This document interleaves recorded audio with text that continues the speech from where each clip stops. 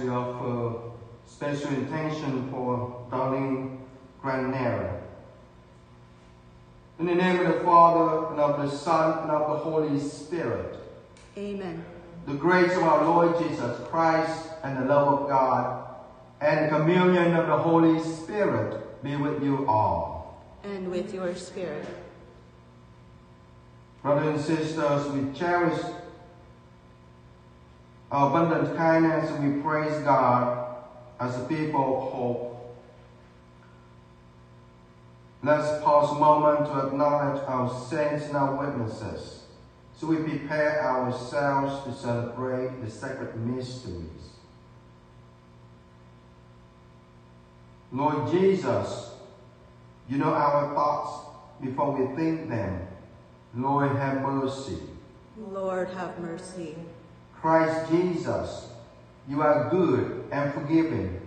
Christ, have mercy. Christ, have mercy. Lord Jesus, you do wondrous deeds. Lord, have mercy. Lord, have mercy. May Almighty God have mercy on us, forgive us our sins, and bring us to everlasting life. Amen.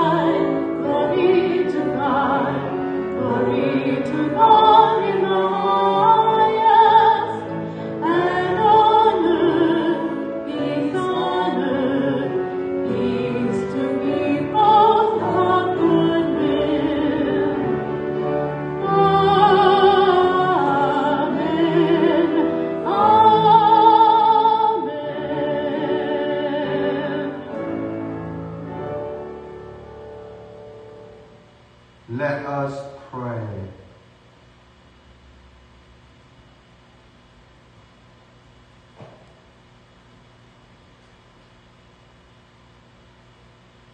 Show favor, O Lord, your servants, and mercifully increase the gift of your grace, that may fervent in hope, faith, and charity, that may be ever watchful in keeping your commands, through our Lord Jesus Christ, your Son, who lives and reigns with you, in the unity of the Holy Spirit, one God, forever and ever. Amen.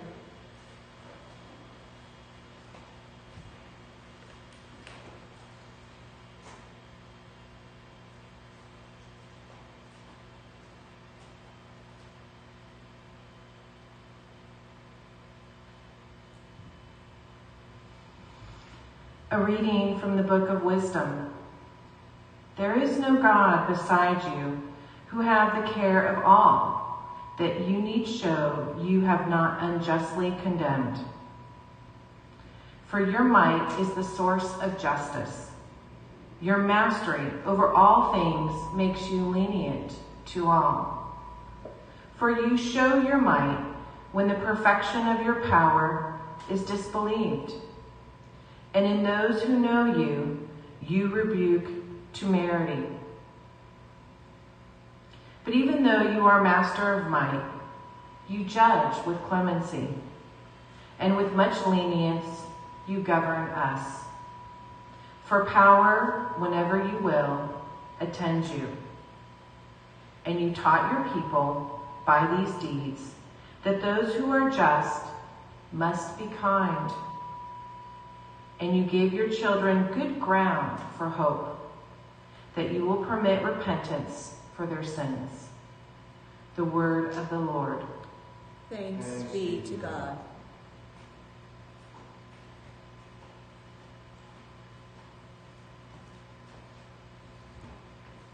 Lord,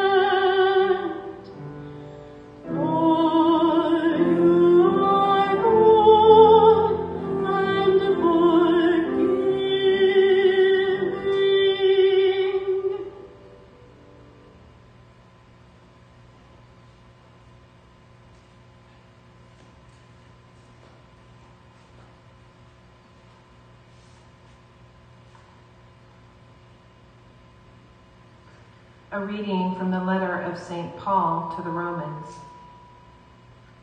Brothers and sisters, the Spirit comes to the aid of our weakness.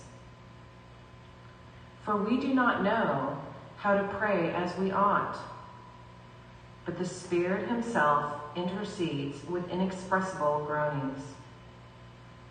And the one who searches hearts knows what is in the intention of the Spirit, because He intercedes, for the holy ones according to God's will.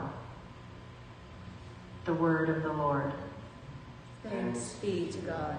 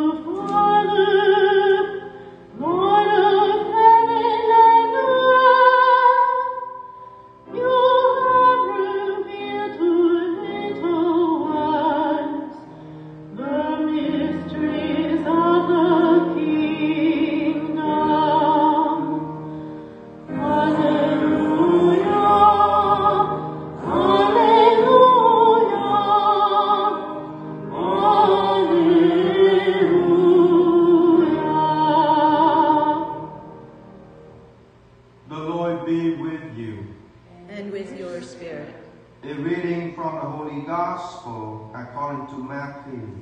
Glory to you, O Lord. Jesus proposed another parable to the crowds, saying, The kingdom of heaven might be likened to a man who sowed good seed in his field. While everyone was asleep, his enemy came and sowed weeds all through the wheat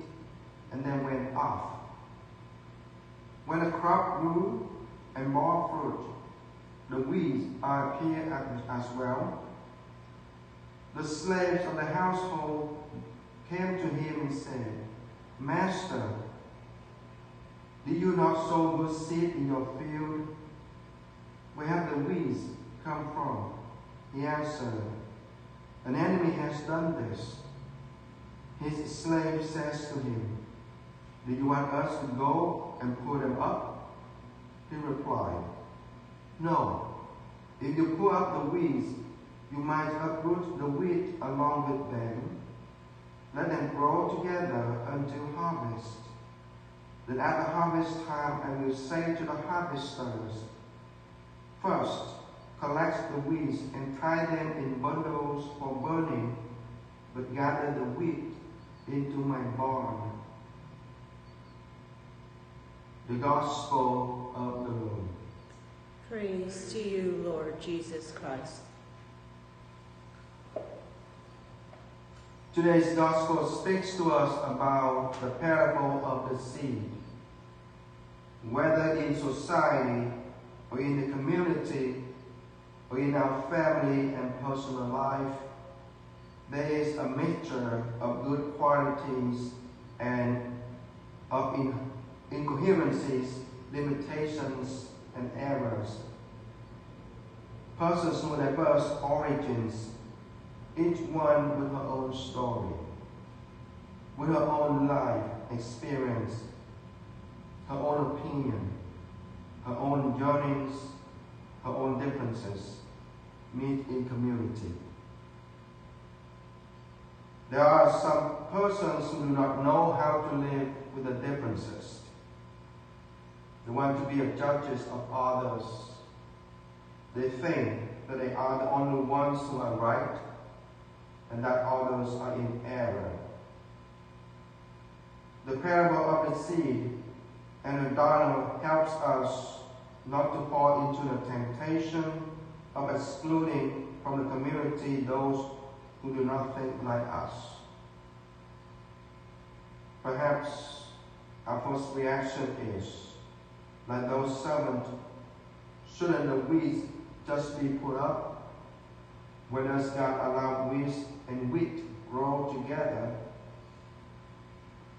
Once intertwined, removing the weeds is harmful for the wheat. God used even those who reject His love for the good of His people. Maybe He allows them to bring some trial into your life so that you lean and depend on Him more completely. Perhaps He used a poison fruit that they produce to encourage you to bring forth fruit in keeping with your faith. Living your life in such a way that thanks God for what He's done for you. Brothers and sisters, the difference between believer and unbeliever is the matter of heart. We can be deceived by the weeds pretending to be wheat. We cannot misjudge wheat and mark is as a weed. We cannot judge the heart. We cannot know a person's faith. So we leave no judgment for God and trust that when the harvest comes, He will make the proper decisions. The harvest will mean the end. At the judgment day, there's no more chances. There are no more options. The crop in the field has no more chance to grow once the sickle or the combine is taken to it. This time in the field is gone and is moved on to the next stage. Jesus makes it clear what happens to the wheat and the weeds. First collect the weeds and tie them into the bundles for burning, but gather the wheat into my barn. This is less a warning and more a message of comfort for the weak. At the last day, God is going to take everything that hurt us and get rid of it. Like weeds bound into the bundle and burned, will be everything that ever tempted us to sin and rebel against God. Everything that mocked us for our faith. And every last thing that ever brought us misery. There will be no pain or suffering or problems in heaven. There will only be joy in eternal mansion of God's storehouse.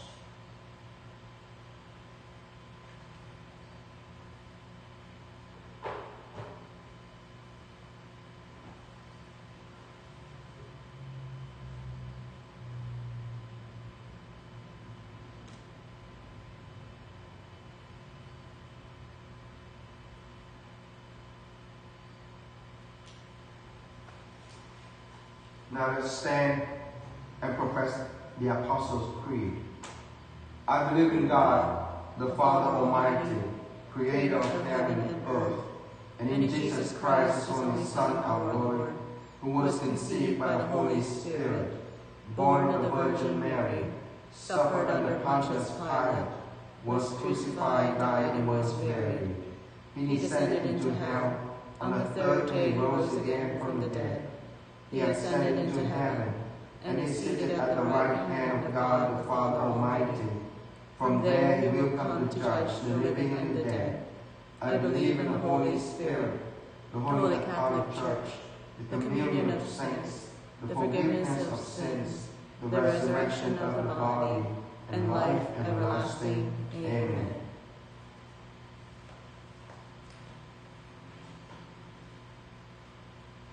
Called to be people of faith and love, we turn to the Father of love with our prayers. That by the example of their lives, Christians may lead to the kingdom of heaven those with whom they share this earth. We pray to the Lord. Lord, hear our prayer. That those who are masters of might in this world may judge with clemency and govern with lenience. We pray to the Lord. Lord, hear our prayer. that the Spirit may strengthen all those who experience weakness in their efforts to do God's will. We pray to the Lord. Lord, hear our prayer. That we may have patience, tolerance, and understanding as we deal with neighbors who are different from us. We pray to the Lord. Lord, hear our prayer. For those in special need of our prayers, those in our book of intercessions, victims of flooding in Asia, those afflicted by the COVID 19 virus, healthcare workers and first responders, those without work or food, those searching for a vaccine or a useful treatment, those who are sick, and those who have died, including Virginia Evans and Monsignor Milani. We pray to the Lord. Lord, hear our prayer. We offer this Mass in a special way for Darlene Granera. We pray to the Lord. Lord, hear our prayer. God of all goodness and grace, you are with us always. Hear our intercessions as we place our trust in your divine providence. We ask this through Christ our Lord. Amen. Loving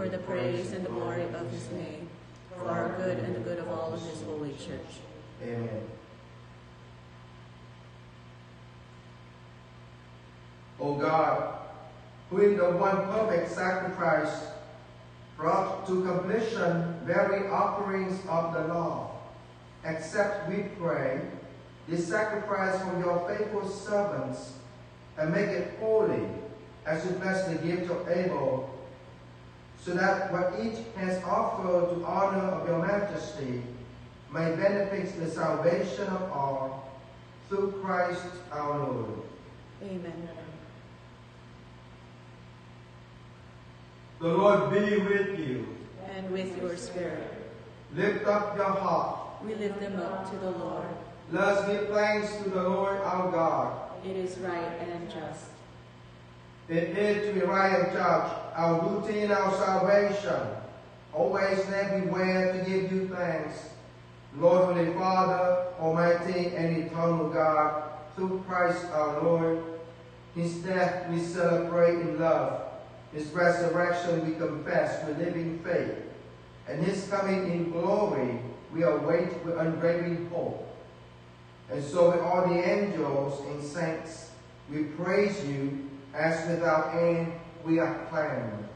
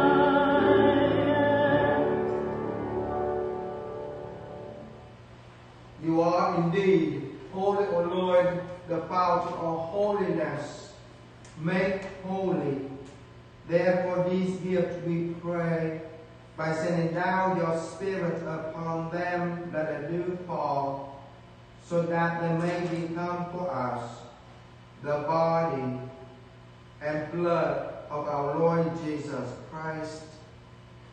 At the time he was betrayed and entered willingly to his passion, he took bread and giving thanks, broke it and gave it to his disciples, saying, Take this, all of you, and eat of it, for this is my body, which will be given up for you.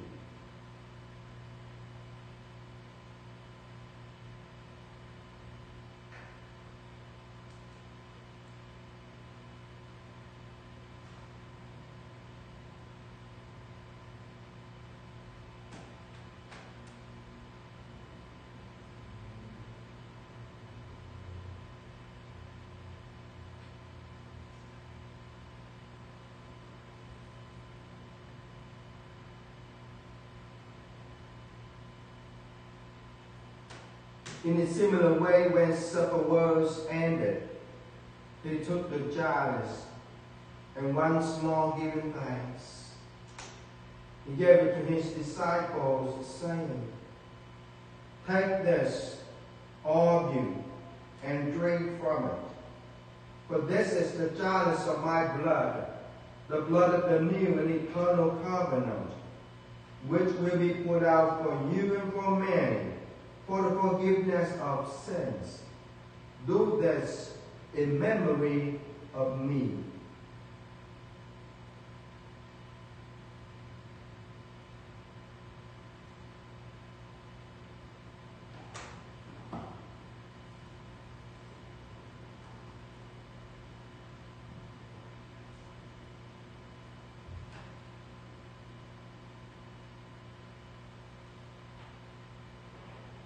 Mystery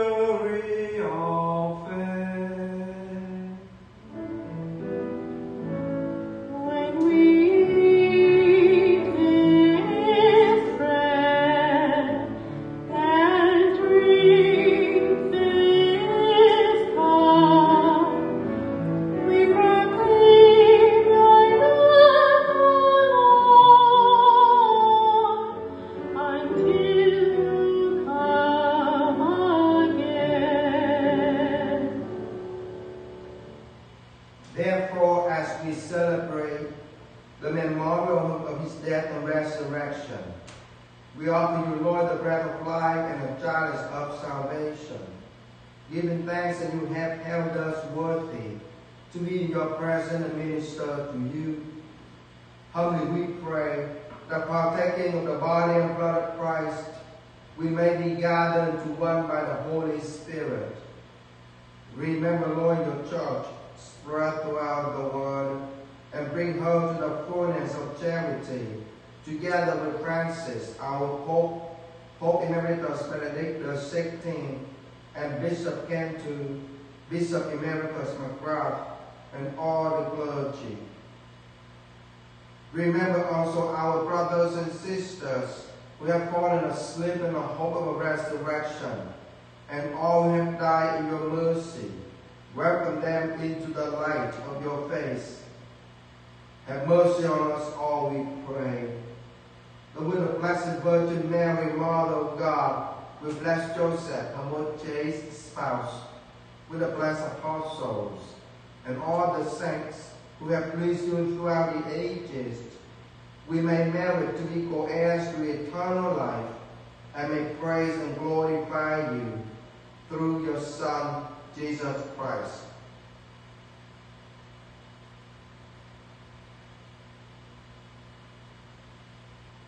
Through him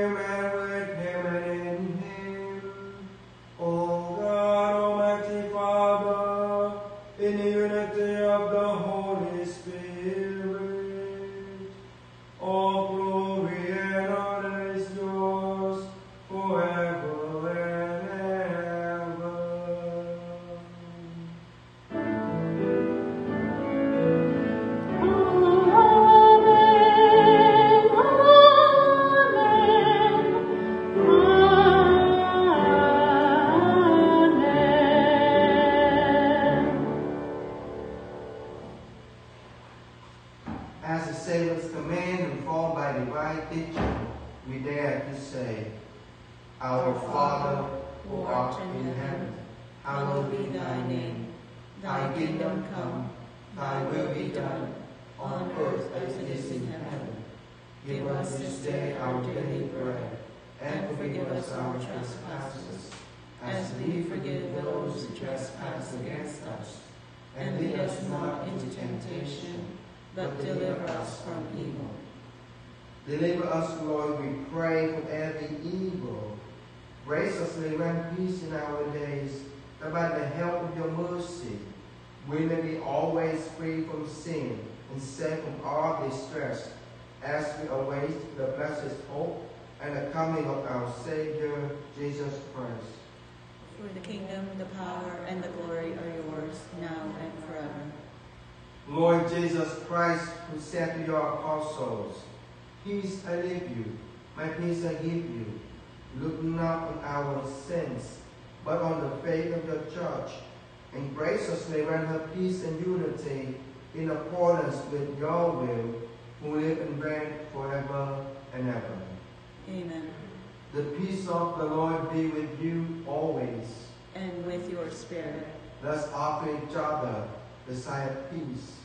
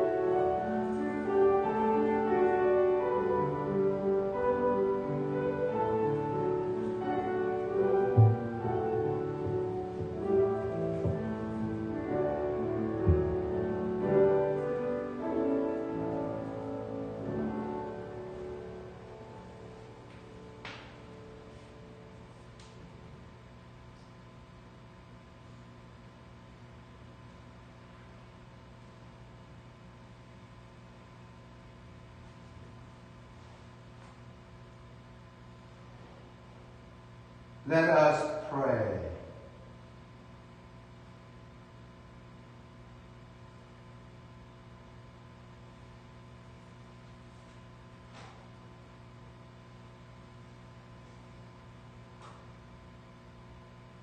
Graciously be present to your people, we pray, O Lord, and lead those you have imbued with the heavenly mysteries to pass from the former ways to the newness of life. Through Christ our Lord. Amen. The Lord be with you. And with your spirit. May Almighty God bless you, the Father, and the Son, and the Holy Spirit. Amen. The Mass is ended. Go in peace and glorify the Lord by your life. Thanks be to God. Thank you.